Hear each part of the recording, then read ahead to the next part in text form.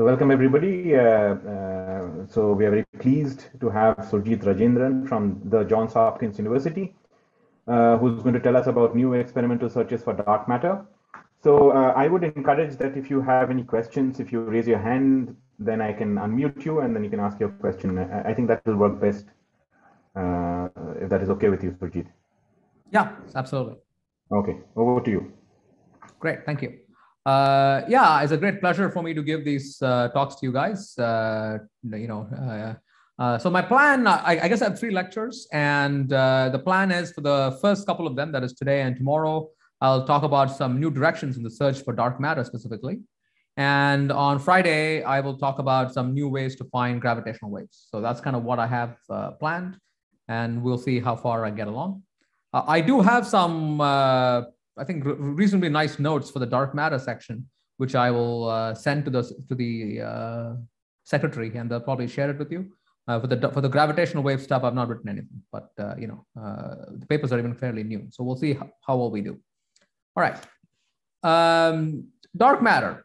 Why is dark matter interesting? Because we know the dark matter is a new particle, right? The observations the bullet cluster conclusively show that there's a new particle in the world and it is, in fact, the most definitive evidence that we actually have of the existence of new physics, other than the fact that there is more matter than antimatter in the universe, stuff like that. So, because there is this new particle, it is very reasonable to think that this new particle has non gravitational interactions, because pretty much every particle we know about, other than the graviton, has non gravitational interactions. So, if it has these non gravitational interactions, it's very, very important to find it because by finding it, not only do you learn about a new sector in physics, wherever the dark matter is coming from, you kind of understand perhaps uh, what may have produced the dark matter. It may give you insight into early universe cosmology, that sort of thing, right? So it's just a new tool for us to understand the fundamental laws of nature. And that's why it's very important to try to find these non gravitational interactions. But the key question is how do you detect them? Right? Uh, this particle is there. It probably has these non-gravitational interactions. How do we find them? The challenge in detecting dark matter is the fact that uh, the reason why we call the dark matter dark is because its effects on us are very weak. And because these effects are weak, we probably need very high precision techniques to be able to find these very weak effects.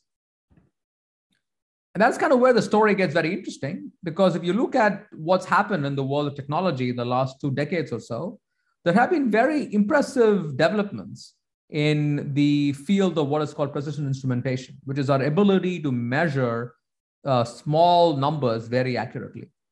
So, for example, today one can measure magnetic fields that are smaller than a femtotesla, okay, uh, with what are called squid and atomic magnetometers uh, one can actually measure accelerations that are less than 10 to the minus 13 times the acceleration due to gravity. And that is through atom and optical interferometers. Uh, and in fact, uh, you know, uh, uh, if you ask any of the guys who work in this field, uh, they will not say that these numbers are final. They, in fact, ever since my actual involvement in this field, I've in fact witnessed them make these numbers better by an order of magnitude or two every few years. So in fact, this number of accelerometers being 10 to the minus 13 little g is no longer correct. The correct number today is 10 to the minus 15 little g. Okay. So, and that just happened in the last two years or so. So uh, it is in fact the case that because of these rapid technological advancements, uh, you can imagine how can we actually use these new techniques to detect new physics, specifically the physics of dark matter and maybe gravitational waves as well.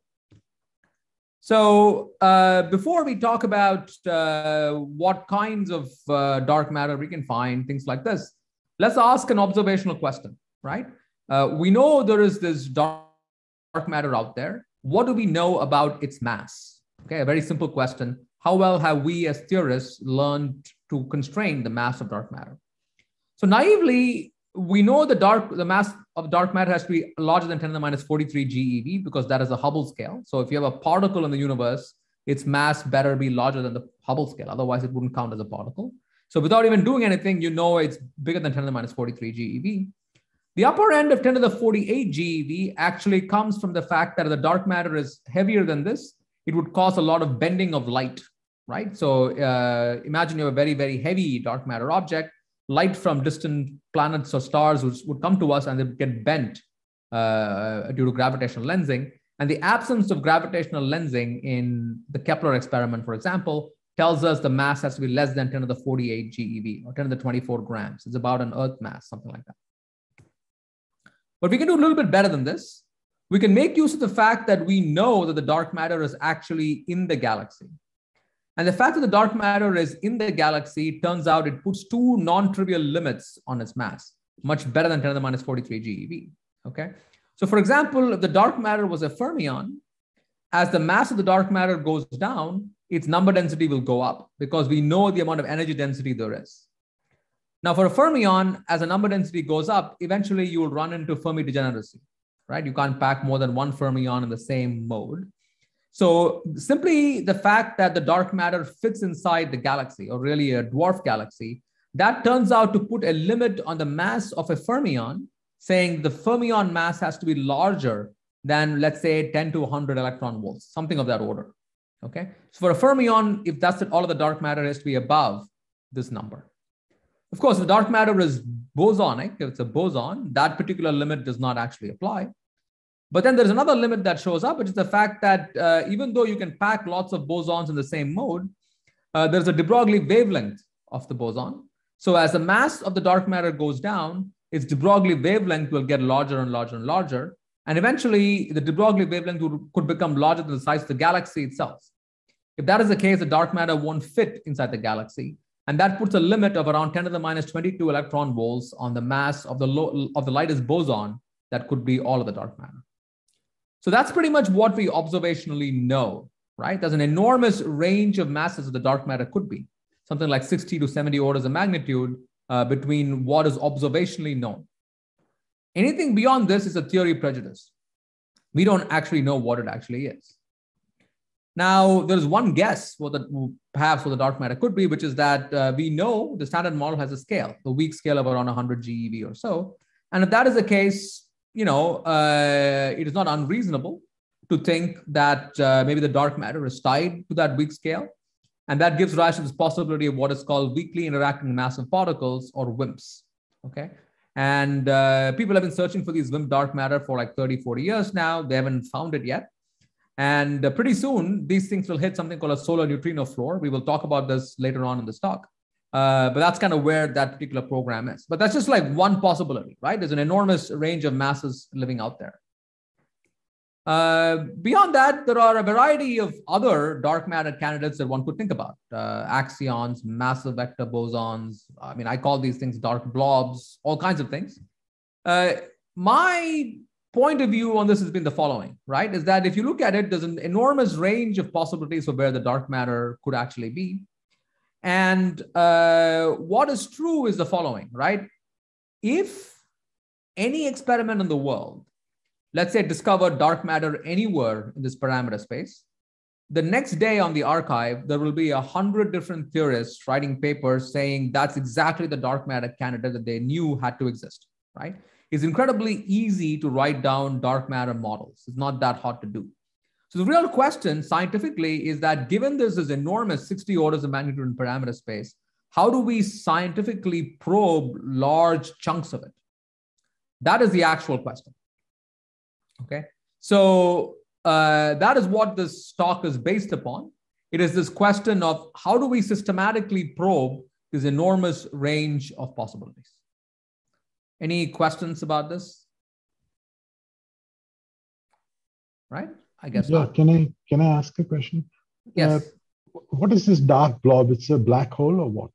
Oh yeah, sorry. That is just uh, a large composite state of dark matter. So I would consider myself a dark blob, right? Like it's just a statement that. So uh, if you look at 10 to the 48 GeV, you sort of realize it's well above the Planck scale. So that can't really be a fundamental particle. What it can be is a composite system, and I sort of call them blobs. I see. Okay. Yeah, yeah. I, will actually talk about this more in the next in the lecture tomorrow, uh, where we have a systematic way of probing that as well. Good. Thanks. Great.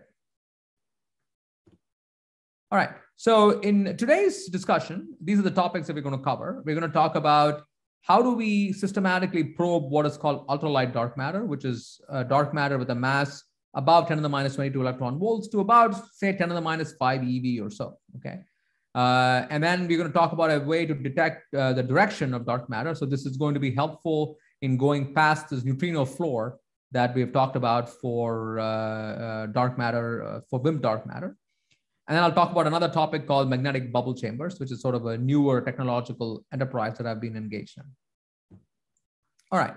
So let's talk about uh, ultralight dark matter, dark bosons. You know, what does that actually mean? What does it look like?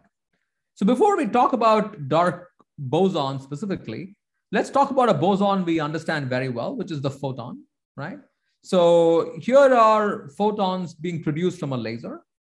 And one can think about those photons, of course, as individual particles streaming out. That's perfectly fine. But another equally good way of talking about these photons is that we can say there is an electromagnetic wave, a classical electromagnetic wave being produced by this laser. And I can describe that classical electromagnetic wave by some E naught cosine omega t minus omega x, where E naught is the amplitude of the wave, and that corresponds to some energy density that is living in this particular wave. And one way to detect this photon, of course, is by measuring the time varying electromagnetic field associated with this photon. So, this is, of course, practically not how you detect a photon, but this is how you, you detect a radio wave. You would say there is a time varying electromagnetic field, and I'm going to measure that time varying electromagnetic field to detect this radio wave or photon or whatever. So, how do these dark bosons show up? How, how are they the dark matter? Well, uh, just like how the photon has a classical field associated with it, uh, you know, the dark matter boson will also have a classical field associated with it, or quantum field, or whatever. And uh, we would simply say that, uh, you know, that field looks like some amplitude A naught times cosine MT. Okay. So there is one key difference between the photon and the dark boson field. The photon is massless. So, of course, its uh, energy and momentum are tied to each other. Uh, while for the case of the dark matter, the velocity could be zero. Okay. So there isn't a momentum component here. It's just some A naught cosine MT. It's just oscillating back and forth at a frequency equal to its energy, which when the velocity is zero is just a rest mass M. Uh, and because the amplitude is non-zero, there will uh, be some energy density associated with it, uh, and that could be the dark matter. So what one can verify is that in the very early universe, right, when the whoever knows where, how the universe was produced, uh, there is no particular reason to think that this amplitude should be zero. So there will be some initial value for this field. And one can actually show that this initial value of the field will give rise to some energy density. And, and that energy density behaves exactly like dark matter. And by behaving exactly like dark matter, I basically mean that it redshifts just like dark matter. So the very early universe, that's kind of how we think about these things. We would simply say the dark matter is homogeneous. It has a one value around the entire universe and is oscillating back and forth uh, uh, uh, at a frequency equal to its mass. It looks like someone has a question. Yeah, let me read it out for you. Uh, yeah. Chenbai is asking a naive question What makes us believe that dark matter is a kind of particle rather than some kind of modified gravity? What evidences ah. are there that dark matter is more like a particle? Good. So this is the question that we actually uh, I briefly alluded to the very beginning. So, so that is this thing called the bullet cluster. So here's an image. Okay. So what this actually shows are two clusters of galaxies that are merging. Okay. And you got to think about what that means. Uh, so I'll tell you what the picture shows. So, so these are two galaxy clusters that are merged. And here is where the stars are. Okay. And here is where the gas is. What is this showing, right? So when two clusters of galaxies go through each other, the stars are occupy a very small volume small fraction of the volume of the galaxy. So the stars don't hit each other, they just kind of go through each other. Most of the mass in the galaxy is actually in gas, like hydrogen gas, things of that kind. So the gas, of course, is distributed everywhere. So as it goes through, it hits each other and gets very hot. So what we see in an X-ray telescope is that this is a location of the gas, which is most of the visible baryonic mass of the cluster. Okay, the stars are only about 1% or so of the overall thing. So the gas is somewhere here. Okay, that is a red thing that we see in the X-rays. What you can now do is you can ask where is the gravity of the system showing up? And I can do that by gravitational lensing. So when I do gravitational lensing, I look at where the actual mass is. What we find is that in gravitational lensing, the mass is somewhere here. It tracks the location of the stars. Okay, so the lensing pictures show that the gravitating mass is here while the, the X ray telescope picture shows that the baryonic mass is somewhere here. So it's pretty funny, right? In some sense, we learned that the stars, which are a small fraction of the actual mass of the dark uh, uh, uh, mass of the galaxy, is where all the gravity actually looks like it's coming from. What that tells you, of course, is that the gravitating mass is not in the gas, it is actually over here. And we know that the stars are a small fraction of the mass of the galaxy anyway. So the mass is actually coming from this side, which therefore must be a new particle that went through in this collision, as opposed to getting stuck somewhere in the middle. So I hope that answers the question. There are also more questions. Okay, so there's another question. Uh, Mozammil is asking, does dark matter interact with radiation? dark matter could interact with radiation but currently i mean it's theoretically possible but we have no we have sort of limits on that uh, if the dark matter did interact with radiation for example it would have changed the cosmic microwave background in various ways so the fact that we haven't seen those things uh, gives limits on that kind of interaction but we have no evidence that there is such an interaction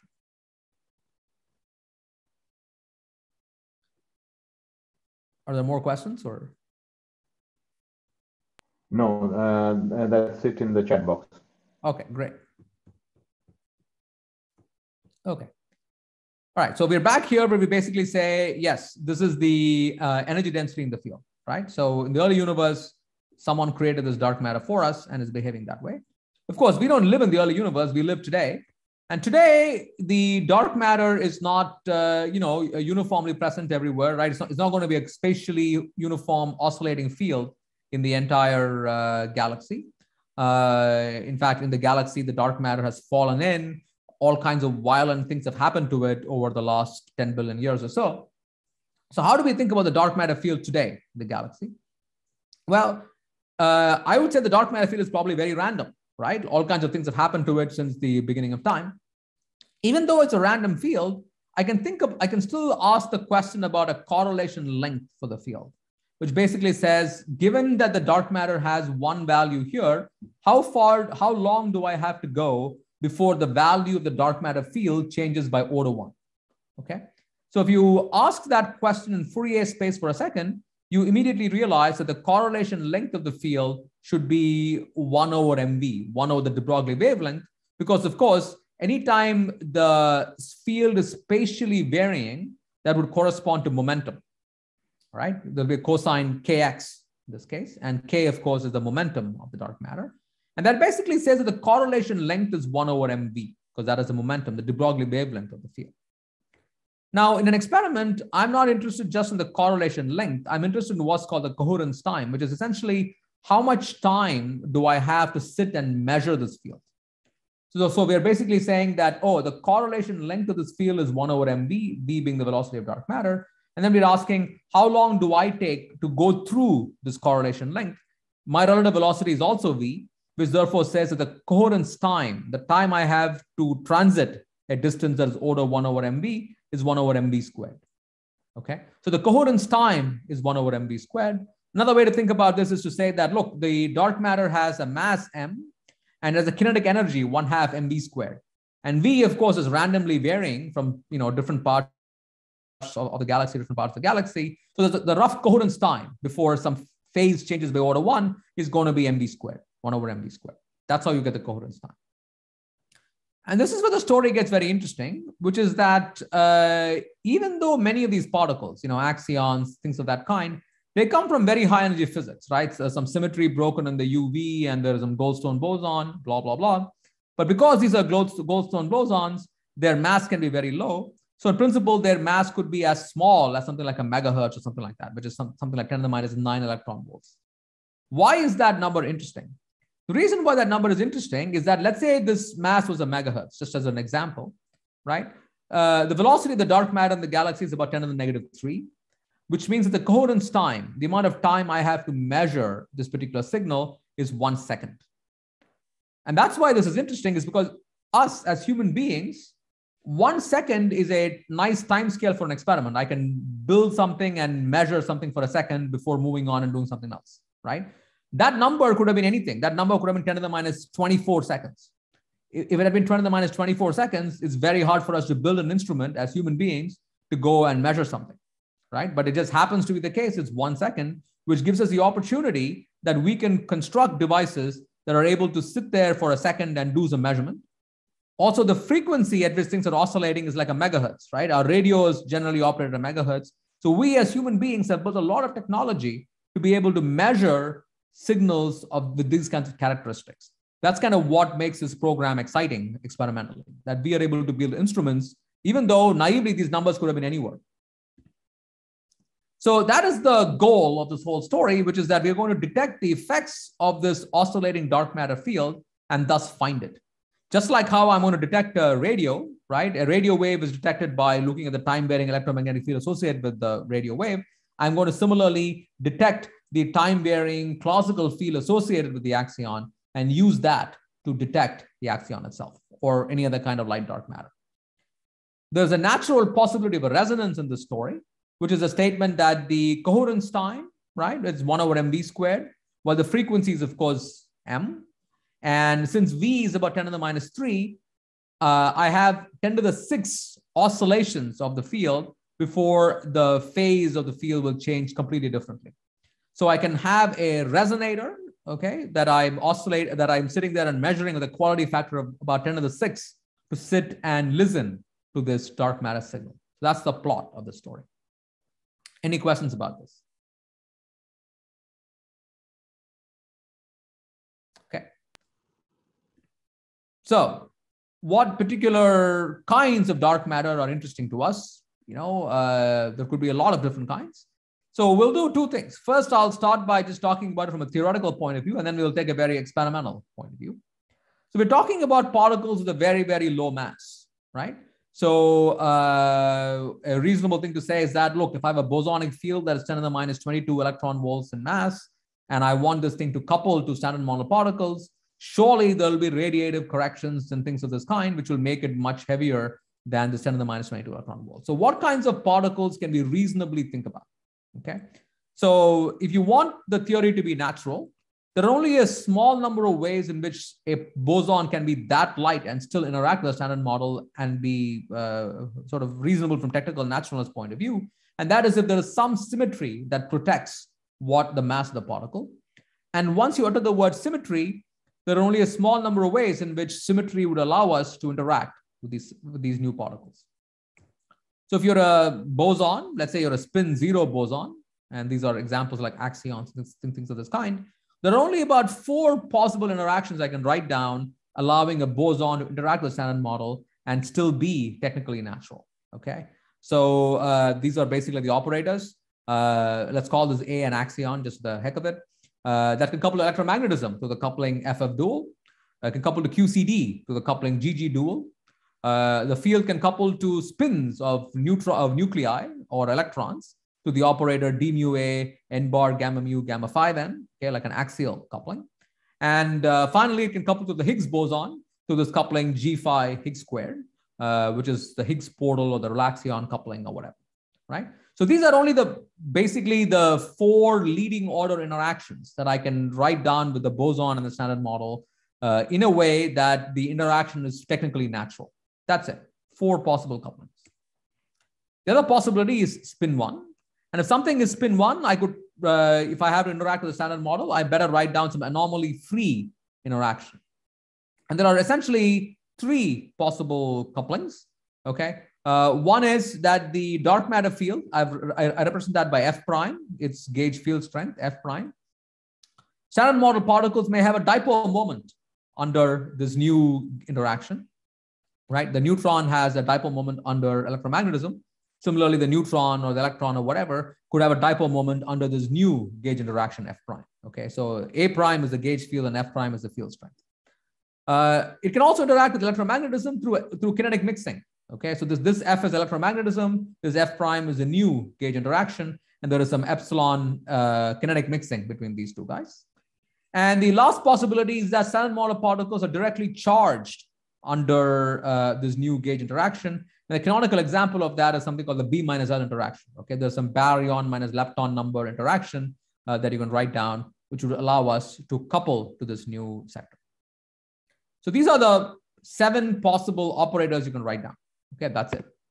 And how do we find these things? Well, what we're going to do is uh, if any of these particles happen to be the dark matter, okay, all I'm going to do is take the classical field that corresponds to the dark matter energy density, some A naught cosine MT or something, and stick that into these operators here. That's it. I take A equal to A naught cosine MT, plug it in over here. And what am I going to get? I'm going to immediately see that these operators, okay, get coefficients that become time dependent, right? So, the, so these are standard model fields, just leave them as they are. Just substitute for the value of the dark matter here. I'm going to get A naught cosine MT sitting in front of all of these guys. And I can simply ask, what is the effect of an A naught cosine MT sitting in front of one of these guys and look for the physics associated with that. And what's interesting is that uh, this physics is oscillating. It moves back and forth at a frequency equal to the mass of the dark matter, which we don't, of course, know. It could be 10 to the minus 7 hertz or 10 to the minus 22 electron volts to 10 gigahertz, whatever it is. Some large range of, of, of, of frequencies could be living in there. Uh, so I could go ahead and measure some specific signal oscillating at that particular frequency.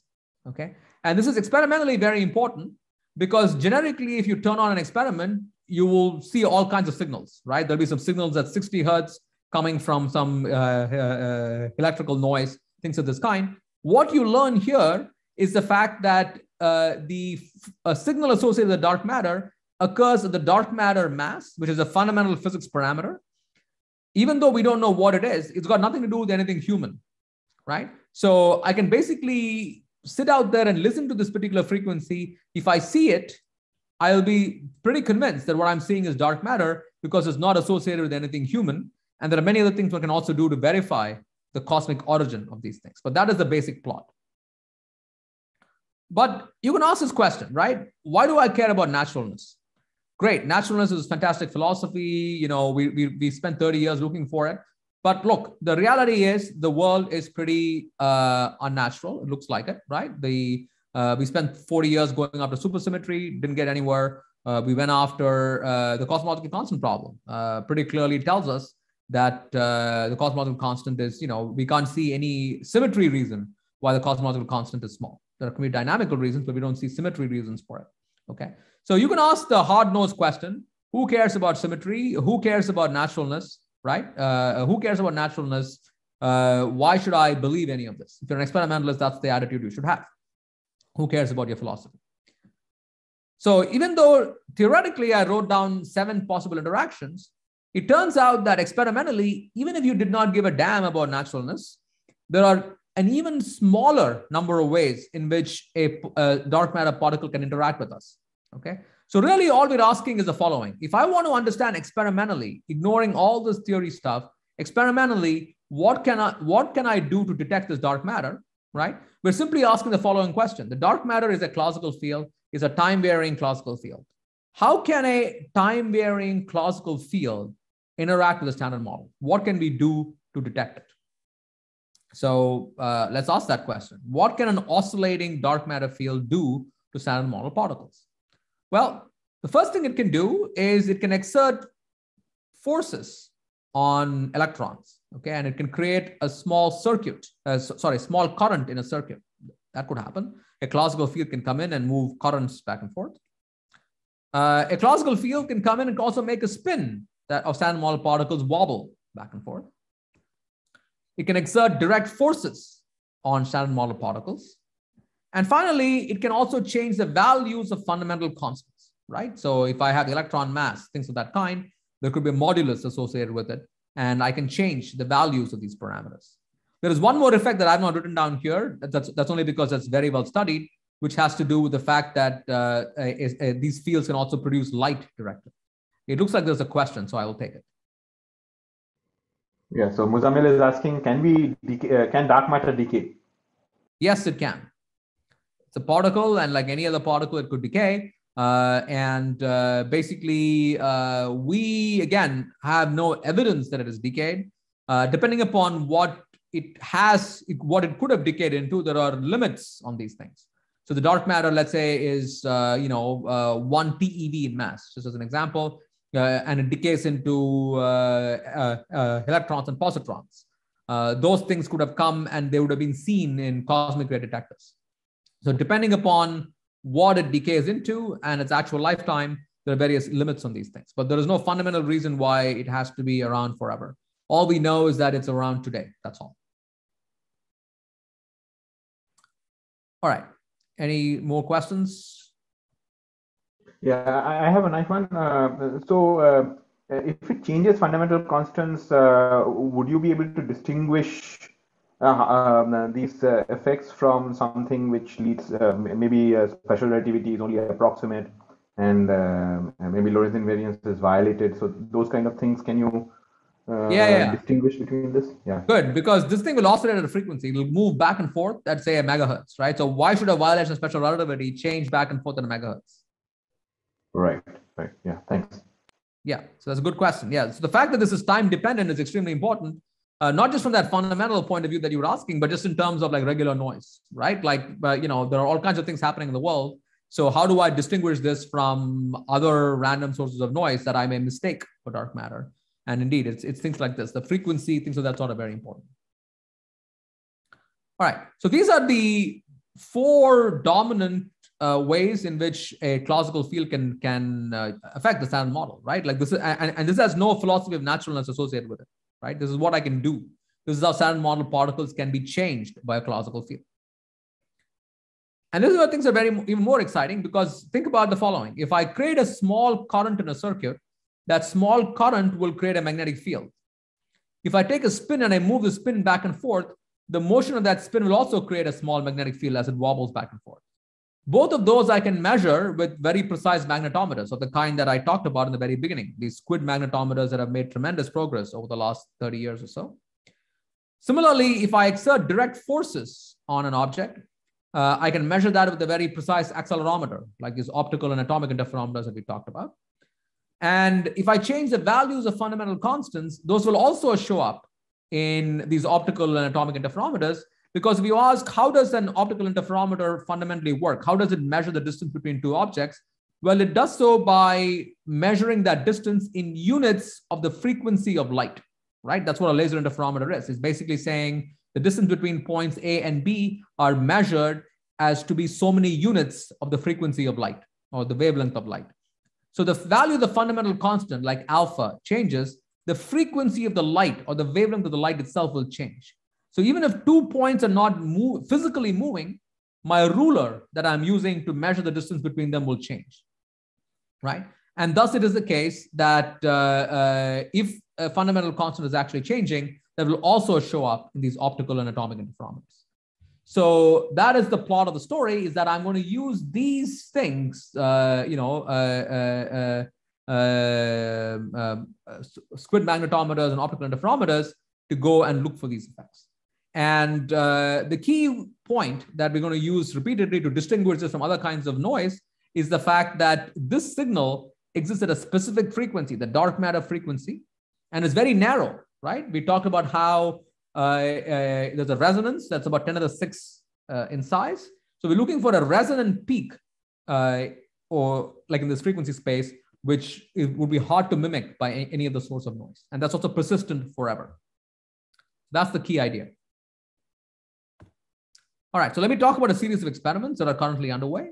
Uh, the first experiment I'll talk about is the Cosmic Axion Spin Precession Experiment, or CASPER. And this is now a pretty big activity. Uh, there's a number of people working on this, funded by all these dudes, uh, as put out here. All right. So what does Casper do? As the name suggests, Casper is looking for spin precession.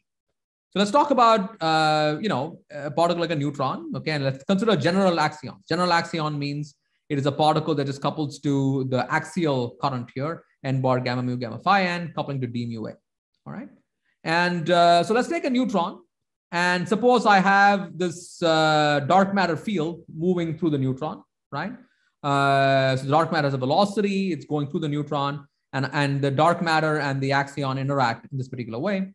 So you take this operator, you write that down in the non-relativistic limit, and you write that down in the non-relativistic limit. This is how that interaction looks like. So there is a velocity dotted at the spin of the neutron. That's what this coupling becomes. So if you look at that interaction, that's a lot like how a magnetic field would interact with a spin, right? B dot S. So what this means is that as the dark matter goes through, because of this V dot S coupling, the spin will wobble back and forth, just like how a magnetic field will cause a spin to precess. if there is this kind of interaction, the axion velocity will also cause the spin to wobble back and forth. Okay. And you can kind of look at current limits and see how large these fields are. These fields are typically around 10 to the minus 16 Tesla, assuming certain interactions that are not ruled out by current data. And that's interesting again, because those are kinds of magnetic fields that we're actually physically able to measure.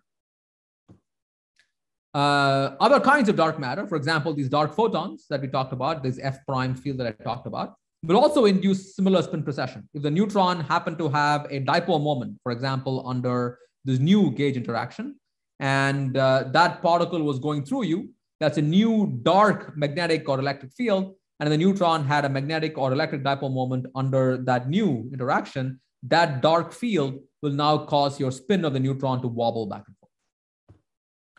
Uh, the second interaction we're interested in is the QCD axion itself. The QCD axion, I didn't discuss this earlier, but the key point about the QCD axion is that it couples to QCD. That's why it's called that. It couples to GG dual, the QCD field strength, A over F GG dual. And uh, what does that do? Well, if A is a dark matter field, it's the uh, dark matter axion, then you just simply put an A naught cosine MT over there, which then gives rise to a time dependent coefficient for GG dual. Uh, you might recognize that GG dual, of course, is the source of the so-called theta term of QCD. And if there's a theta term of QCD, that would give rise to a electric dipole moment for neutrons and protons, right? That's the famous strong CP problem. Uh, the fact that that happens to be very small, uh, but it's the same physics. So there's an A over F GG dual. And if there's an A sitting out here and the A is oscillating back and forth, there will now be a time dependent electric dipole moment for neutrons and protons coming from the dark matter itself. So what can you do to see this? Well, this electric dipole moment is along the nuclear spin. That is the only vector that is available, the only pseudo vector that's available. And so what you can do is that you can apply an electric field. Okay. Now a magnetic dipole will precess around a magnetic field. Similarly, an electric dipole, if it exists, will precess around an, an electric field, right? So the basic idea is that if you if, if if this interaction does exist, you apply an electric field, you expect the neutron to wobble back and forth around it. So in both these cases, the key point is that if somehow I'm able to measure this spin rotation caused by the dark matter, I can detect the dark matter. That's the main idea. Any questions about this? Okay, I'll move on. How does Casper hope to detect this spin precession? So here's the idea. You take some material, you align all the nuclear spins in one direction. Uh, theoretically, for us, that's very easy to say. Experimentally, that's a very complicated thing to do, but people can do, can do it in some systems. And here's what you do, right? Uh, you just let the dark matter do its thing. So you take all these spins, the spins, let's say, are aligned in this direction. The dark matter flows this way. Okay, either it is this axion velocity that effect we talked about for general axions, or I can apply some electric field uh, in this system. And the dark matter actually is present and it's doing what we think it's supposed to be doing, it will then cause all these spins to rotate. As these spins rotate, their magnetic field will also change. And I can measure that transverse magnetization very accurately using this SQUID uh, or, uh, or some kind of magnetometer very accurately. Okay. And you can kind of see how there is a natural possibility of a resonance here which is that the dark matter field oscillates back and forth at a frequency equal to its mass. And if you apply a background magnetic field in this particular system, the spins naturally want to precess at what is called the Larmor precession frequency, mu b. Okay, that's a standard thing that in, happens in NMR. And so, uh, in general, you don't know the mass of dark matter, uh, things of that sort. So, what you do is that you sit out there and you keep changing the value of the magnetic field. As you keep changing the value of this applied magnetic field, the resonance frequency of this NMR setup keeps changing. And what you're hoping for is that at one particular value of B, right, which is where the cosmic axion happens to be, there's a resonance. And when there's a resonance, there will be a larger magnetic field response of the system than what you previously had. Okay, so that's kind of how the system works is that you pick a value of the magnetic field, you try to see if there is anything going on. And then you keep tuning that magnetic field a little bit by little bit and seeing if there is one place where there is a big signal happening. It's a lot like how you tune a radio, right? You're generally you, in some random location, there's just some static noise you're getting, you keep tuning your radio until you hit the frequency of the radio station where you hit a resonance, which is where you see your signal. So this is looking for exactly the same kind of idea, uh, except we're looking for the cosmic radio station here and not uh, you know your local uh, whatever radio station you listen to. So that's basically how Casper works. And uh, the reason why I'm very excited about it is because uh, you know Casper has the ability to uh, search for a large variety of axions over a pretty large range of frequency. So I won't really spend too much time on these slides. The important part about this slide is basically there's a lot of white space that you're able to cover, right? And that's my philosophy. The dark matter, we don't know very much about it. So we must be thinking about technological ways to cover as much parameter space as possible. Uh, same with this ability to search for the QCD axion as well, uh, where phase two of this experiment hopes to actually get to the QCD line itself and cover a significant range of masses for QCD. Uh, stuff is actually going on. This is not just theory. Uh, the Casper experiment has been around now for four to five years, and uh, there's like real data happening over there with continuing progress being made. So I won't spend too much time on it because you guys are more string theorists, but uh, this sort of let you know that things are actually uh, happening. Let me now switch to the next topic, which is uh, uh, an experiment called DM radio. Okay, it's the idea of how to detect something called the dark photon with a radio of some kind. This also is funded by all these guys. There are probably more uh, people I should put up here, uh, you know, who are funding us, but let, us not talk about that just yet. All right. So, what is Sorry, the? The previous experiment that you described is based where? Oh, the, so Casper is actually happening in Boston University as well as at the JGU in Mainz. Okay. Uh, that's the Johannes Gutenberg University. Uh, and I think we, in fact, we have colleagues in Shanghai and a few other places as well. Okay. But that's but that's where the main setup is actually happening. Yeah. Uh, DM radio is being built at SLAC. All right. Uh, uh, so uh, here the we're trying to find a, what's called a dark photon, right? And the dark photon is a statement. So here's the Lagrangian. It's very simple. F is electromagnetism. F prime is the new gauge interaction. Uh, the new guy has a uh, you know mass, so there's an m squared a prime squared that I've written down, and uh, I couple these two sectors through a kinetic mixing. That's how I wrote it initially. That's a technically natural way of writing it. You can obviously do a, a uh, basis redefinition and write that in terms of the mass basis. In terms of the mass basis, this is what it looks like. Uh, Standard model particles, the Standard model current, J mu electromagnetism, they're coupled to electromagnetism, of course, as you're supposed to. But when you do the you know uh, basis redefinition, uh, rediagonalization, what you basically see is that all standard model particles, electrons, protons, things of that kind, uh, that, that carry electromagnetism, they carry a small charge as well under this new gauge interaction. That's what it looks like. So from the experimental point of view, all you're saying is that, look, the world has a new dark photon. It's a new photon. This photon has a small mass and it has very small couplings to all charged particles. That, that's what's going on here, okay, epsilon. And how do you find such a thing? Well, I know that an, that an, an, an, an electric field creates currents. So presumably an dark electric field will also create small currents. And the key point is that if I build a shield, that shield will block regular electromagnetism. But uh, you know, uh, since the coupling of the dark matter with regular electrons in a shield is very small, the shield will presumably not block the dark electric field. The dark electric field will go through. So, but it can still drive currents behind an electromagnetic shield. So that's the main idea. I'm trying to uh, detect a dark electric field inside a shield. So here is the picture. Uh, the dark matter is assumed to be this dark electric field. This dark electric field is oscillating everywhere. That's where its energy density is. And I put and I build a shield. And inside the shield, I stick in an LC oscillator, okay, a radio essentially. So uh, uh, the idea would be that the dark matter comes in, standard model gets blocked by the shield, the dark matter goes through, it excites this LC oscillator. Once again, I don't know the frequency of the LC oscillator. Uh, I, I don't know the frequency of the dark matter. So I just have a tunable LC oscillator, just like a regular radio. So I'm sitting out there and tuning the LC oscillator, hoping, okay, that at one particular frequency, I hear the cosmic dark matter. Uh, that's the DM radio experiment. And uh, again, progress is happening on this front. This is uh, a, a, a, a, relatively large activity now. And the key point is there's lots of uh, uh, uh, white space that I can cover with this technology. And this is sort of recent data from these guys. This, of course, is not the, we, we, didn't find the dark matter. Okay, that's not what the spike is.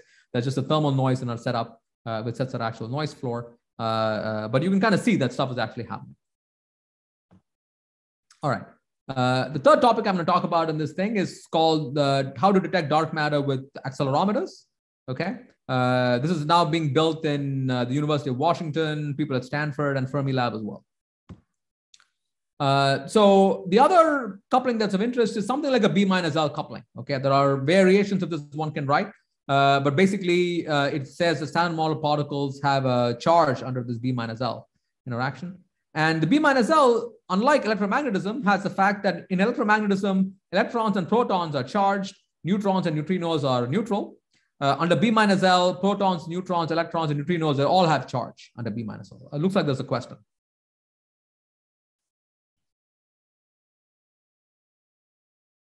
Yeah, so let me read it out. Uh, so why particularly LC oscillator and not any other type? Oh, uh, well, in the sense that I'm trying to detect a small current, right?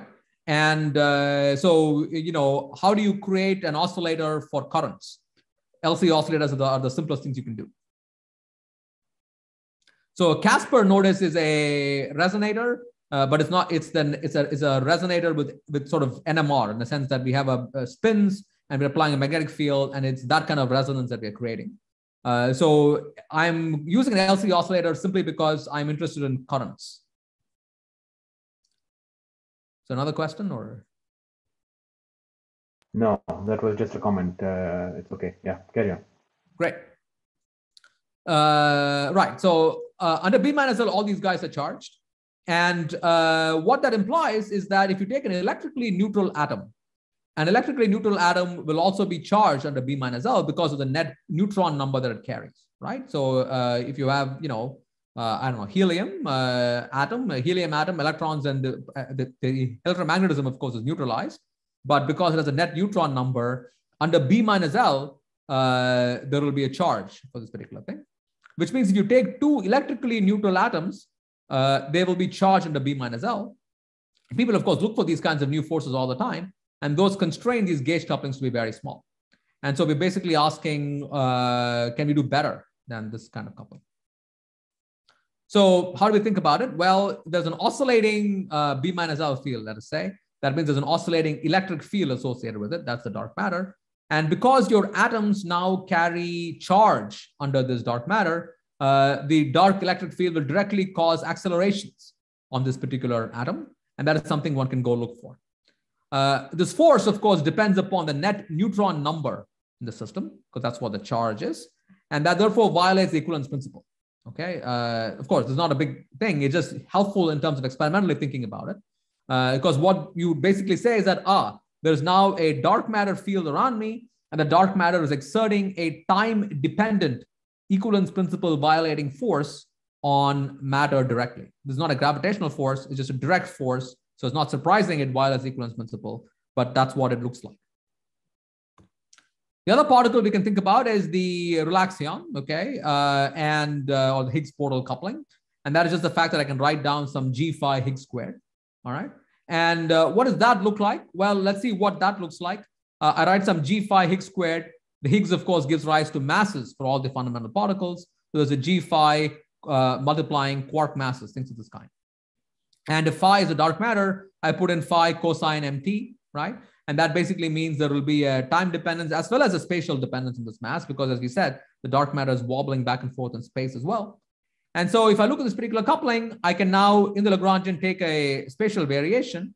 There's now, uh, because there's now a spatial gradient, what you realize is that different quarks at different locations will have a slightly different mass, slightly different potential. If there's a, if there's, if there's a spatially varying potential, that of course corresponds to a force. And therefore, there's now going to be a force on atoms that is of the form g grad phi, uh, uh, uh which effectively corresponds to the fact that there's a velocity okay, of the dark matter directly exerting a force on standard model particles. That's what that looks like. Once again, this is some interaction that goes with the Higgs. It doesn't care about gravity. Uh, so it's not a surprise that this will violate the equivalence principle. So once again, we get a time-dependent equivalence principle violation. The reason why I'm bringing up the equivalence principle violation is because there are many experiments that are currently looking for equivalence principle violation. And therefore, one can actually just simply co opt those particular experiments and uh, try to find this kind of dark matter. So, here is an experiment that's actually happening at the University of Washington. Uh, so, they take two elements, okay, titanium and beryllium. Uh, so, titanium and beryllium, they have different neutron to proton ratios. Uh, and what and here's what uh, uh, you know will happen in a dark matter setup. So because the force exerted by dark matter cares about whether this is titanium versus beryllium, sorry, rather the acceleration cares about whether this is titanium versus beryllium. Uh, if there is this dark matter actually doing this, and I take this particular system, you will notice that because the acceleration of titanium is different from the acceleration from beryllium on beryllium, this particular balance will get twisted right? There's a different acceleration on this guy versus that guy.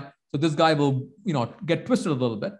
And you can measure that angle, the angle of twisting, okay, through optical interferometers. So that is one thing you can go and measure. The second thing you can do is you can take two atoms and drop them. So an experiment that is being done at Stanford involves them taking rubidium 85 and rubidium 87, and they're actually doing Galileo's experiment. You know, Galileo is famously supposed to have gone to the Leaning Tower of Pisa and dropped two different objects, and uh, he is supposed to have shown that both these things fell at the same rate. Okay. Uh, so these guys are taking rubidium 85 and rubidium 87 and they're dropping them. And they're going to see if one of them falls faster than the other. Okay. And they're going to do that to extraordinary precision of like 13 digits as opposed to what Galileo was able to do. And so uh, the key thing about this whole setup is that uh, one of the main things here is that if you ask, right, uh, um, how is a dark matter signal different from the typical things these guys are looking for. So usually these guys are looking for a new force between the earth and the atom. So for example, if I look at this atom interferometer experiment, they're trying to see if there's a new long range force between the earth and the atoms that is different from gravity. Now, in general, you take rubidium 85 and rubidium 87 and you drop it, you will indeed, in general, find that one of them falls faster than the other. Now, that is not because you've discovered a new force of nature, uh, it is often the case that it's very difficult for you to drop 85 and 87 from exactly the same point in space, right? In general, you'll drop 85, say a little bit below 87. If you did that, because the Earth is a sphere, there is a slightly different gravitational gradient, right? This is, uh, or, or, or, or, or rather, there's a gravity gradient, which basically means that the acceleration experienced by 85 will be somewhat different from the acceleration experienced by 87 simply because of the fact that the Earth is a sphere. So the fact that rubidium 85 falls somewhat faster than 87 by itself does not mean you've discovered a new force of nature. It just means the Earth is a sphere, right? So this is a serious problem in a lot of these experiments that constrains your sensitivity uh, because of the fact that there are all these gravity gradient noise around you. For dark matter, this particular problem can be kind of solved in an interesting way because the dark matter signal is oscillating back and forth in time. So let's say I take rubidium 85 and 87 and I drop them. Even if I don't drop them from the same location in space, the dark matter signal will keep changing in time, right? So let's say the dark matter oscillates at a frequency of one hertz, which means every second or so, rubidium 85 will go faster than 87, and then 87 will go faster than 85, right? So because of that time variation, you realize that it's very, very hard to mock that up by conventional sources of systematics, these experiments. And that's really why searching for the dark matter allows these guys to probe quite a bit better than what they can conventionally do for equivalence principle violation itself because of that time variance. Uh, another activity that's going on with a lot of strength these days is called pulsar timing arrays. So pulsar timing arrays are experiments that are actually uh, put out there in order to go and search for gravitational waves. It may even be the case that they've found gravitational waves with pulsar timing arrays. There is all these rumors going around these days. How do they work? The basic idea is that there are these neutron stars or pulsars that are far away from us, and they are spinning in an extremely stable way. Their rotation is extremely stable because they're enormous and they are spinning very, very rapidly. So they're very good clocks. Okay, they kind of come to us at exactly the same rate. And what the pulsar timing array does is basically that this guy, okay, emits a, radio wave towards us. And on the Earth, we're sitting there and listening to that radio wave. And we're trying to see if the distance between, uh, so well, if a gravitational wave, let's say, goes through, that's what they're looking for, the distance between the pulsar and the Earth will change, which will change the time of arrival of these periodic radio pulses. That's what they're looking for, right? And uh, that's what they're looking for to find gravitational waves. The dark matter will also do something very similar, right? The dark matter can exert direct forces on these neutron stars, which will cause the distance between the neutron star and the Earth to wobble. And therefore, the time of arrival will keep changing.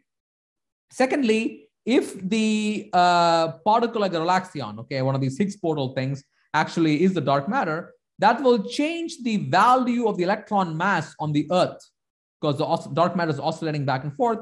It changes the value of the electron mass here locally.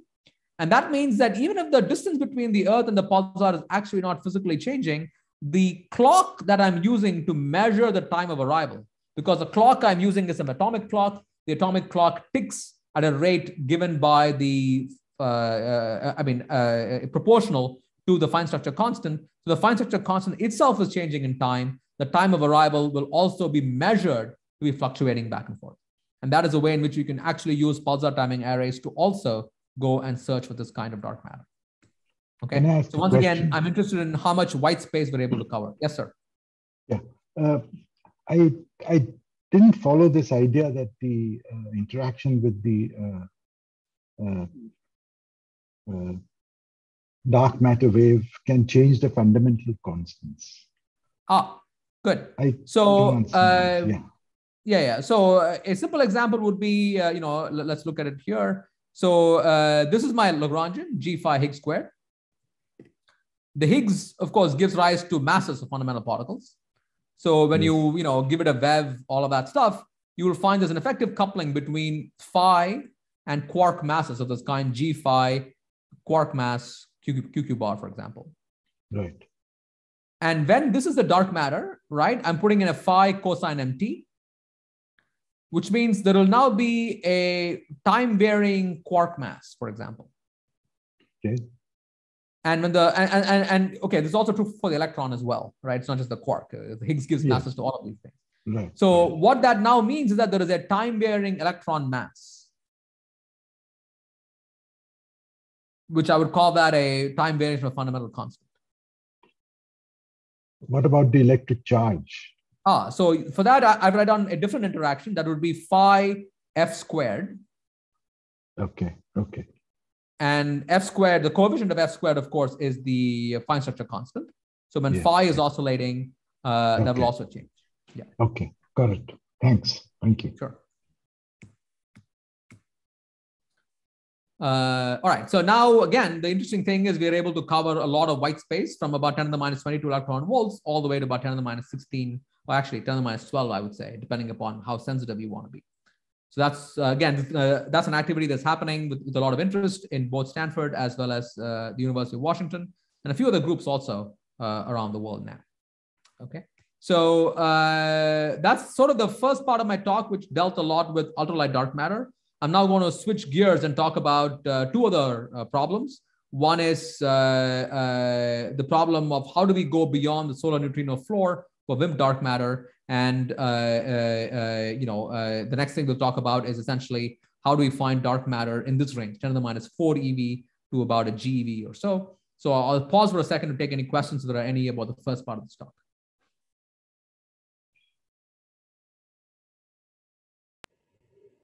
All right, looks like people are happy. All right, so let me briefly highlight these two physical points as well. Uh, so, uh, you know, as we said, right, enormous range of possibilities. Oh, there's a question. Uh, Surjeet, one second. There's a question. Uh, isn't the uh, Loga is asking? Isn't the violation of time translation invariance constrained by how well energy conservation is known to be true? Ah, well, uh, you know, uh, the thing is, if you look at it, right, ultimately there is some dark matter out there that is oscillating back and forth, and that's just what's out there. And you're asking, uh, if I have a particular object in my world and I'm trying to measure its energy, you're absolutely correct that the, an interaction between the dark matter and us will cause at some level a fluctuation in things like energy because I'm driving I'm driving the system back and forth. But these are in fact the experiments I propose are in fact the most sensitive ways to actually measure those violations, right? Because at the end of the day, the dark matter has to couple to us, and uh, if there is no coupling, standard model particles will not experience any fluctuation in their energy. And now we're simply asking this question what is the best way to constrain it?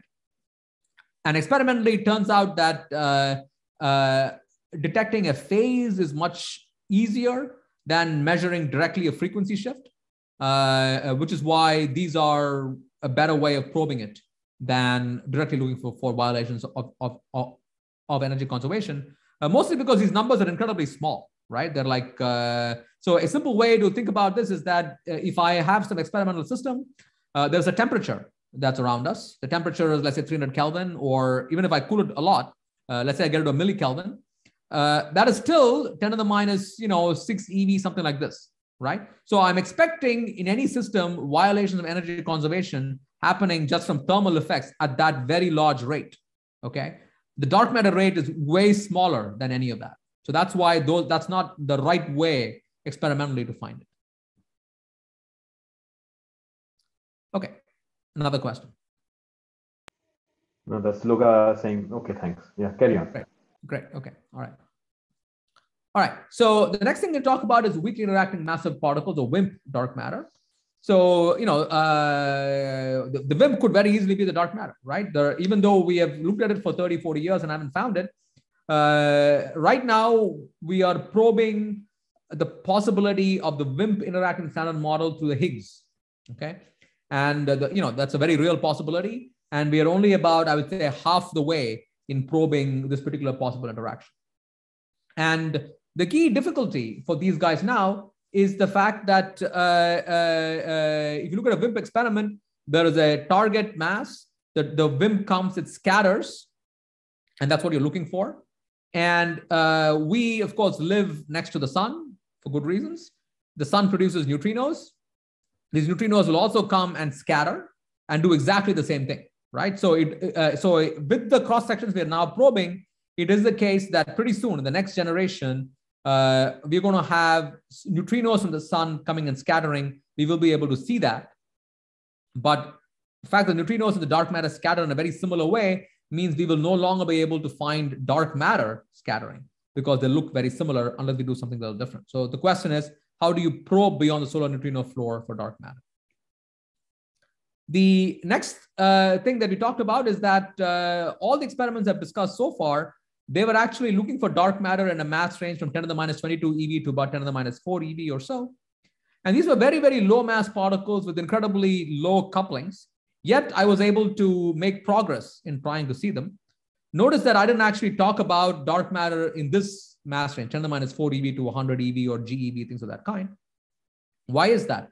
So this actually to some extent uh, ties to Loga's question, uh, which is that the main way these experiments were able to make all this progress is because if you thought about it, the time for which the signal was coherent, right, which is one over mv squared, right, that is how long I have to measure this particular signal before it changes dramatically. That depends upon the mass of the particle. So the lower the mass, the larger the time I have to sit and measure something. And that time could be a microsecond to about a million years, depending upon the mass of the dark matter, which we don't know.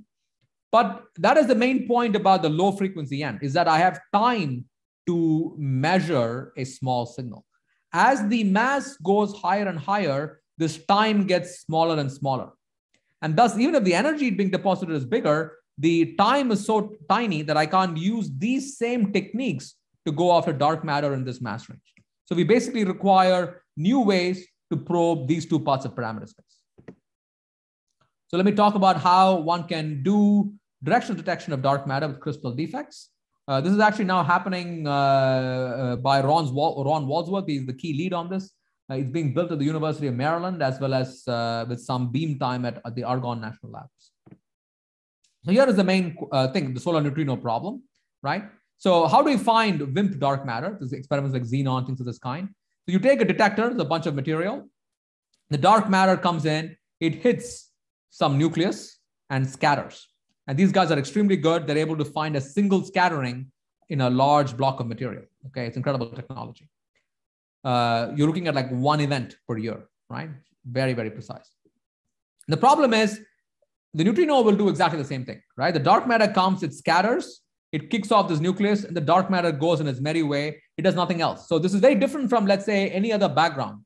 So you may worry about, say, alpha particles, electrons, all these kinds of things. what they will do is that they will come and scatter. Say uh, some alpha particle comes in, it scatters. It won't just hit one nucleus, it'll hit a whole bunch of nuclei. So these WIMP guys, they're very good at knowing whether it was a single event or multiple scattering. So if multiple things got knocked out, you'll be like, okay, that is not the dark matter, it's something else. Uh, so that's how they're able to make progress against a variety of standard model backgrounds.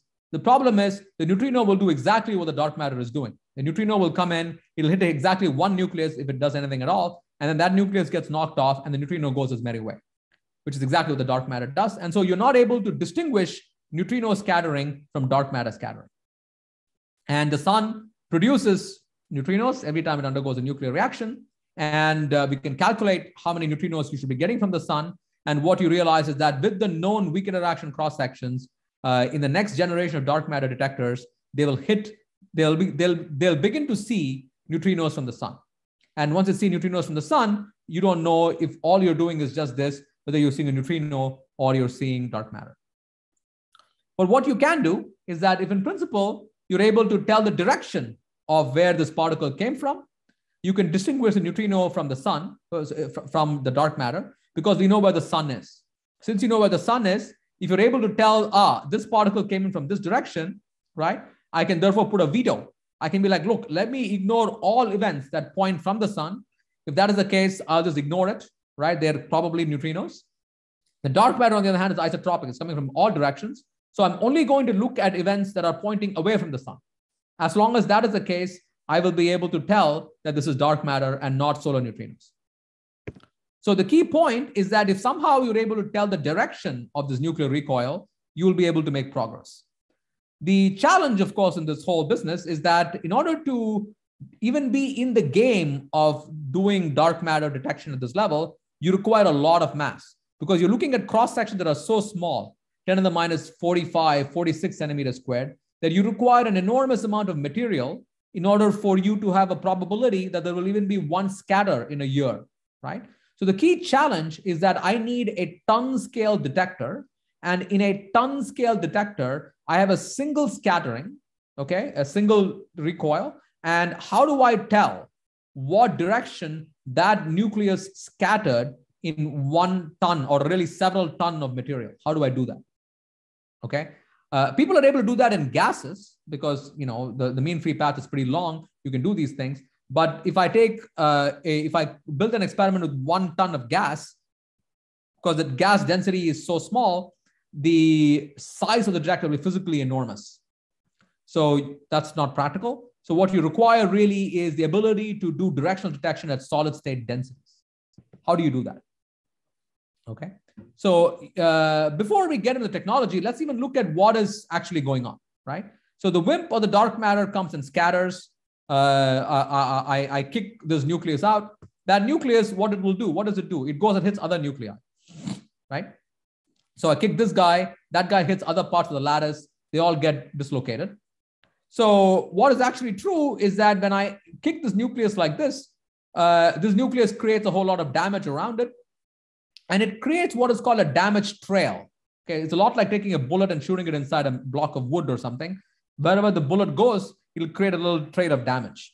And by identifying that trail of damage, you can figure out where what direction the bullet actually came in. Okay. The challenge here is that basically I'm depositing only about tens of keV of energy. So this bullet trail, as it were, is all within 50 nanometers. So if you're able to take a picture of what's going on within 50 nanometers, you're actually able to tell what direction this dark matter particle actually came in. All right. So I won't, in the interest of time, I won't go through this in too much detail, but you can kind of pictorially see why that basically makes sense. So the key challenge in doing all this is that I need some way to do nanoscale measurement, right? Within 50 nanometers or so, there is a very, very good signal that one can go look for. It's extremely strong, but I have to be able to localize and make measurements in a one ton scale solid. A one ton is a lot of mass. It's about like uh, several meters uh, of, of, of material and I need to be able to localize within 50 nanometers what's actually going on. Is the ideal sort of is the, is the archetypical sort of uh, uh, uh, needle in a haystack problem. That's where this very interesting technology of what is called nitrogen vacancy centers in diamond becomes very interesting. So it's kind of roughly how it works. So you take diamond, okay, and uh, uh, uh, so, so, so, so this is not the fancy diamond that you give your uh, partner, okay. This is sort of industrial polycrystalline diamond. Uh, uh, and what you do in diamond is that it's a very nice carbon lattice, and you create some holes in it. They're called vacancies. These carbons are not where they're supposed to be. And then next to them, you put some nitrogen. Okay, you're able to create this. If you know your chemistry, you basically know there's going to be some unpaired electron sitting out there. And uh, what is true is that you're able to shine light on this unpaired electron and you can measure its energy levels very, very accurately. Okay. So you basically take this uh, carbon, uh, take this diamond, uh, you create these holes, you put some nitrogen next to it. There are some unpaired electrons sitting around and you shine light on these electrons and you're able to study the energy levels of that light because as that laser shines through, uh, you know, the uh, like that electron gets excited and de-excited and emits light. You collect that and you study it. Okay. What is true in this technology is that this electron here is very sensitive to electromagnetic fields at the nanometer scale. That's why these things were actually invented, right? They're able to make nanometer probes effectively of, of these kinds of crystal materials. Uh, and one can, in fact, create something like a pretty large density of NV centers in bulk diamond. So these are, of course, millimeter cube amounts of diamond. We're not talking about meter cube just yet, but at least the high densities that is required are, have been experimentally demonstrated. And uh, people have indeed, as I said, been able to make nanoscale measurements, uh, uh, uh you know, around. And the question is, can this actually be used for directional detection? Because as we said, the signal in when a dark matter scatters a solid is that within 50 nanometers or so, there is this very strong bullet trail. Okay. And look, now I have technology that is able to resolve something going at the 50 nanometer scale. So can I combine these two things? So I'll make a couple of comments. First, you might say, look, what am I talking about? I require a meter scale experiment to do any of these things. Uh, so am I really going to go and get a meter, meter cube of diamond, right? If someone gave you a meter cube of diamond, would you be spending that time doing dark matter or would you decamp with that to the Cayman Islands and live your life happily ever after? So the key point is that the kind of diamond we need, as I said earlier, is not the diamond that you give your spouse. It is a it is it is a diamond that you use for industry. And so a meter cube of this kind of diamond is about $50 million. That's not cheap, but again, it's not insanely expensive, right? Uh, it, is, it is at the scale at which we typically do these kinds of experiments anyway. The material is not insane. And you can also do similar kinds of technology, not just with diamond. You can also do that with things like sodium iodide. So these are other uh, kind of crystal detectors that are used in a variety of other regular dark matter experiments anyway. So it's not totally crazy to think about this. Uh, so what does the signal look like? Well, this dark matter comes in, it scatters, it creates this damage trail. This damage trail will affect the uh, energy of this particular line. And that is basically what one can actually go and measure. So roughly what it looks like is that if you knock something off, okay, there is going to be some elastic strain in the material, which drops off as something like one over r cube. And effectively what that does is that it shifts the line, okay, by something like 100 kilohertz. So the line had some energy before, it changes by 100 kilohertz uh, when the damage trail is around 30 nanometers away. And that's about 100 times larger than the natural line width of this particular uh, system. So locally, okay, in the 30 nanometer region or so, the signal to noise is something like 100 to 1. It's a very, very strong signal because at the 30 nanometer scale, I've created a lot of damage. But the key point is how do I find this needle in this gigantic haystack? So here's kind of the idea of what we're trying to do. We're going to create some pretty large detectors. Okay, so they're going to be sections. So essentially, what we think about is something like a meter squared area okay, with a thickness of only about a millimeter or so. And the idea is that we use conventional WIMP ideas. Okay, uh, the WIMP guys have been doing this for a long time. So when a WIMP or a neutrino, whatever comes and scatters, uh, they're able to localize the initial scattering to within about a millimeter or so. That's where this millimeter thickness comes in. Okay, so within the first millimeter, it's not too difficult to know exactly where this event actually happens. And then you're going to be like, okay, so something seems to have happened in this millimeter cube uh, over here. So let me just pull out that part of the detector. And then I'm going to study that very, very intensively with all kinds of fancy laser scattering techniques. Again, in the interest of time, I am not able to go into that in too much detail, but that's kind of what these guys generally do. right? So you're going to pull out this particular millimeter cube where you think something interesting happened, and then you st- spend two days studying it very carefully to identify within that millimeter cube where is the direction of the damage trail. And that is something one can actually do. Okay. Uh, so I won't go into more detail. Essentially, the idea is that uh, it appears possible that uh, with the, you know, uh, uh, one can actually get five sigma efficiency uh, with this, this technology. And we're currently working towards creating a proof of concept of this particular setup. So with that, let me switch to my final topic. Yeah. Yes. Uh, so these experiments uh, need to be done at uh, low temperature or room temperature.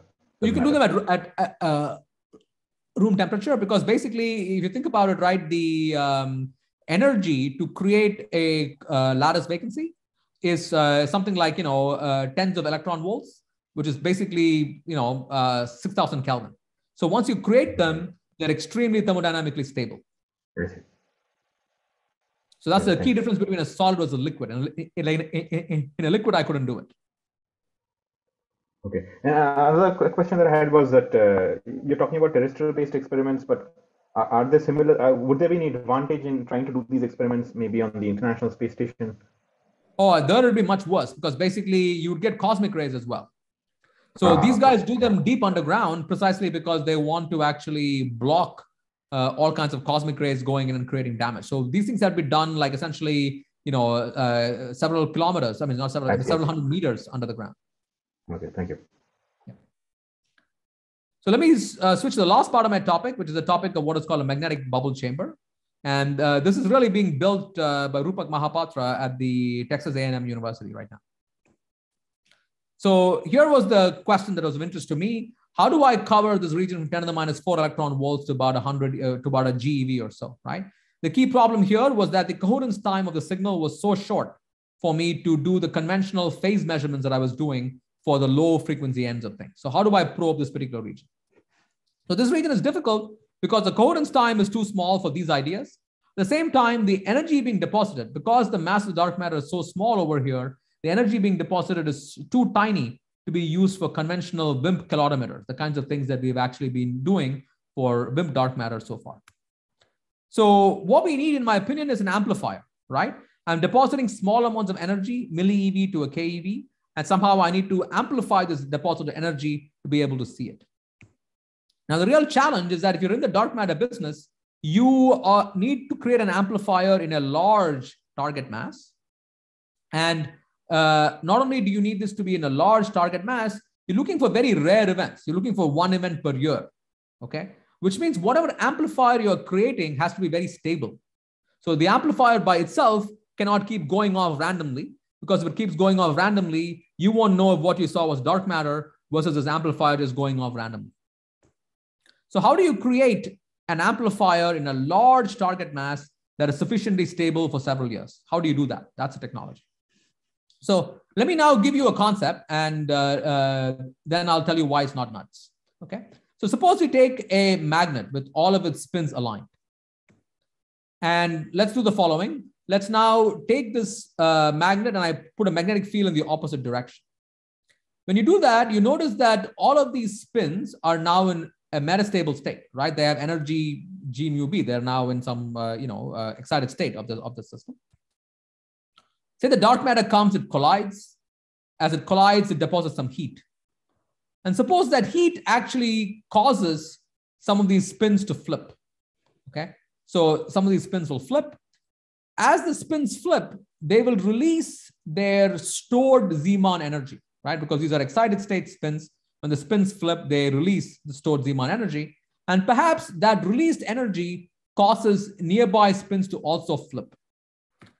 And that gives rise to a flame or a magnetic deflagration or a burning of the material, right? So, this, so, so it's not a chemical burning, right? In a, in a, in a chemical burn, that's what you do. You take something, you, you, you only heat up a small part of it, but the release heat releases the causes the fuel to release more energy, which then burns up the rest of the system. So that's a chemical burn. What we're now asking is, can magnetic spins also similarly burn? Okay, that's the question. So the cartoon is I take a bunch of spins, apply a magnetic field, I flip a small number of spins that just causes the rest of the system flips spins to also flip. Is that actually possible? that of course amplifies the locally deposited energy because I'm only starting off by flipping a small number of initial spins. And then that then leads to an even more uh, uh, uh, uh a set of spins to actually flip. Okay. So is this possible? Is this science fiction? All right. So what kind of technology will actually happen to actually make this possible? So this, of course, will not happen in a ferromagnet. In a ferromagnet, these spins are strongly coupled to each other. Okay. And uh, because they are strongly coupled to each other, uh, you know, if, if, if, a, if a single spin actually flips, that will actually not cause its neighboring spins to flip. That's not going to happen. Spins are strongly coupled. What we require is weak spin-spin coupling, right? So uh, because it's strongly coupled, uh, one spin flipping will not cause its neighbor to flip. Now I can't use a gas, right? A gas will of course have weak uh, spin-spin coupling, but what I require is that when I release energy, that energy has to be efficiently transported to the neighbor. So I require large heat conduction. At the same time, I need weak spin-spin coupling. All right. So you can't use a gas, you can't use a ferromagnet. That's why you need chemists. Okay. So as you know, there's a field called chemistry, and uh, you can, what turns out what you need is something called an organometallic complex uh, which basically is something that I remember studying for my chemistry classes uh, back in the day when I was a high school student in India. Uh, so these things essentially have, and I never thought that would ever be useful, by the way, in my life, but it turned out to be very useful. Uh, so what an organometallic complex is basically is that you have a central metal atom, uh, a complex really, and surrounding that is a large number of organic material. Okay, that's what's actually going on here. And the reason why this is interesting is because of this large organic material around me, the distance between the spins is quite a bit further away than they would be in a ferromagnet. Okay, which means, and since the interaction drops off as one over r cube, uh, as these spins are split up a little bit, uh, there will be effectively the case that uh, the spin-spin coupling is weak. Even though the spin-spin coupling is weak, because of this organic material around me, it can still efficiently conduct heat right? So I basically accomplished the fact that I have weak spin-spin coupling, but with large heat conduction. And uh, so essentially that means that each molecule in the system uh, acts as an independent magnet. And that's why these things get a name called single molecule magnets. And chemists can actually make these. These are discovered in the late 1990s. And there's a huge uh, amount of chemistry actually going on on this stuff. So what's the basic physics of what's happening here? Uh, this is a system which can be described by a two-level Hamiltonian, spin up and spin down, of course. Uh, and they happen to be separated by some kind of energy barrier. What you now do is you apply a background magnetic field like we wanted to, which then makes one of these systems metastable. But because there is this barrier between them, if I place the spins in this metastable state, they can't immediately decay. They have to go through this barrier. All right. And that can happen only through tunneling. And because of that, uh, this is very, very suppressed. So if you look at the lifetime of the system, the lifetime basically goes as e to the some barrier height divided by temperature. That's what it looks like. So at low temperatures, this state is very, very long lived, right? Exponentially long lived. On the other hand, if I create some localized heating, if I locally increase the temperature, that will, uh, and that goes above this barrier, the decay will be immediate.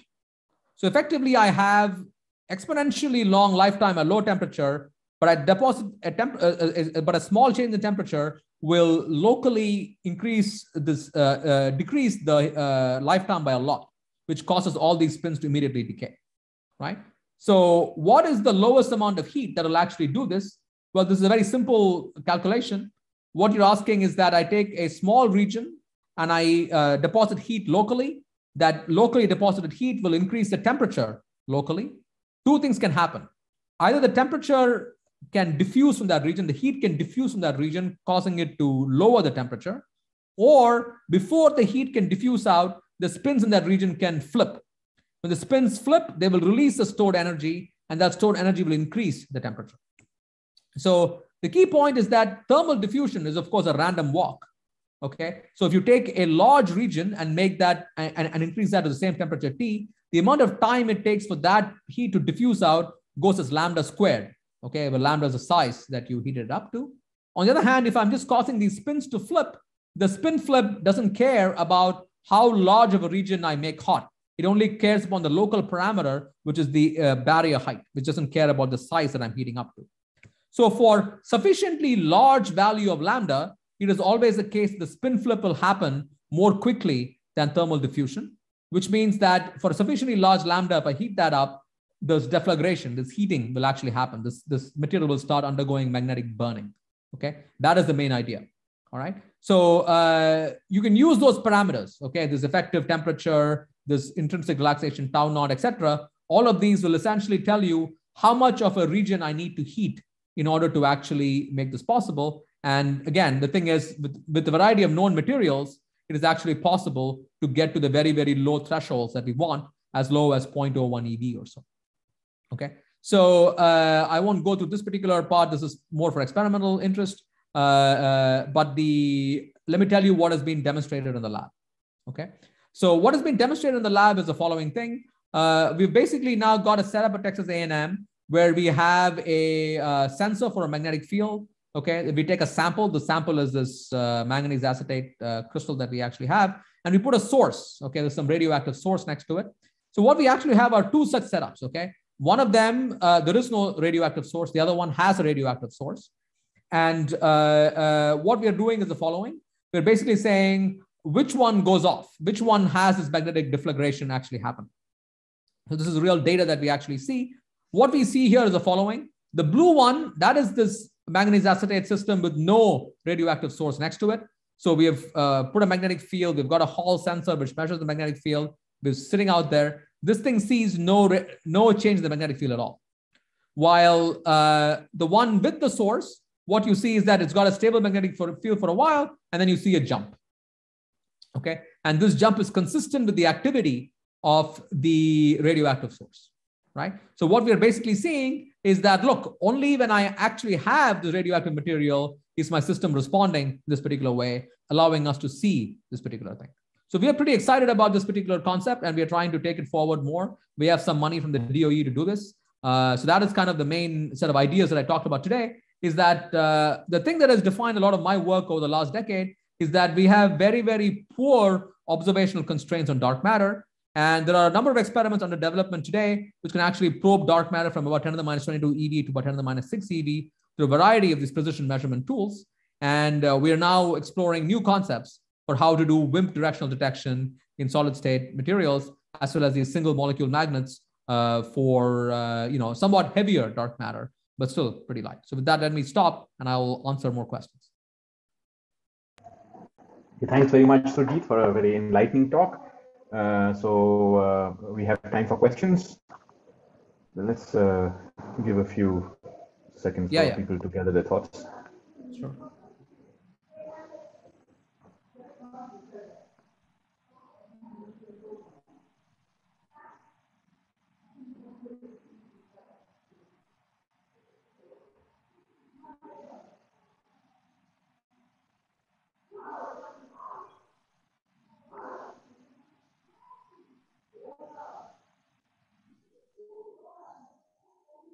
So maybe I can uh, begin by asking a, a simple-minded question. So uh, you said that there are these couplings which will effectively give. Uh, uh there are certain couplings which would give uh, a photon an effective mass as well. So some, some time-varying mass.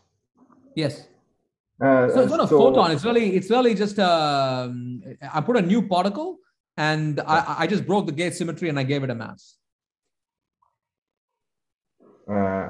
right. Uh, and that does not translate into an effective mass for the photon. Uh, did I understand no. correctly? Maybe I misunderstood something. Yeah. Yeah, no, uh, that does not. So what it looks like is the fact that, uh, yeah, yeah. So I think as, I, I, uh, what it looks like experimentally is that there is a new gauge boson. Yes. That new gauge boson has a mass. Okay, I see. Standard model particles have an, a, a tiny charge under this. So effectively, that's, uh, that's kind of more what I meant. Like effectively, this now reduces to the problem of, oh, I think about it as though the photon had a mass, and that's what I'm looking for. So it's more an experimental way of thinking about it, but theoretically it doesn't actually. Yeah. Okay. Okay. Thanks. Okay. There are there are a couple of questions. So let, uh, yeah. Actually, uh, let me read them out since I can see it now. Uh, yeah. So uh, Yupin wants to know: Is there any problem theoretically or experimentally with dark matter that's exactly massless? Yes, there is, because if it's exactly massless, it would not be, uh, it would be a relativistic particle. if it's a relativistic particle, it cannot be bound to the galaxy. The uh, you know uh, uh, the um, escape velocity of our galaxy is about 10 to the negative three. Uh, so if it's actually uh, at velocity order one, it will not be bound to the galaxy. So, so we know the dark matter cannot be relativistic. Uh, Rushi Joshi wants to know uh, your belief. Uh, wait a minute. Uh, okay, okay. He wants to ask a question politely. He's still a new learner from what I've read. Uh, my belief to seek dark matter has been diminishing. Okay. Given you have experience with all these hypotheses and the actual experimental data till date, what is your take on the scalability of dark matter research in the next five years? Well, look, what I would say is that there's, there's something like 60 orders of magnitude in parameter space, and all we have done is uh, probed a very, very small part of the dark matter sector, very small, right? And given that we've only probed a very small part of it, uh, and this is what we've been doing for 30 years, largely, so I think it is much more exciting now because in the last decade, there have been this huge number of experiments that have actually come about, which are now able to probe many more parts of the dark matter parameter space. So all I can tell you is that there's a lot more, I would say, uh, I, th- I think like a better way of doing it now. So in the in the case of WIMP dark matter, there were like 10 experiments, all of them looking at exactly the same dark matter candidate. Now we have 10 experiments looking at a variety of different dark matter candidates. So I think it's a better direction that the community is going in now than what it was doing in the past. But will we find dark matter? I have no idea, right? For all I know, the dark matter only interacts with us gravitationally. Uh, so, that, so that's one of the, uh, you know, uh, uh, uh, uh, I mean, it's a fact of our physics, right? Is that the world need not be kind to us. We can only go out there and look at what the world is like. And that is something that we have decided to do.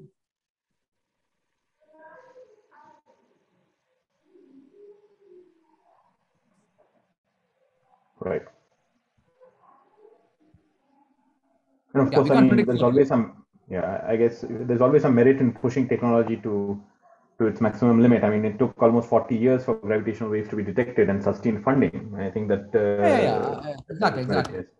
Yeah, I mean, like, you know, this is a, this is one of those things where I would basically say, you know, um, uh, there is no way we're going to find what dark matter is by uh, any other i mean it's, it's it's about like what kind of particle there is in the world right you can't answer that question through any kind of mathematics or things like that you just have to go and actually do the experiment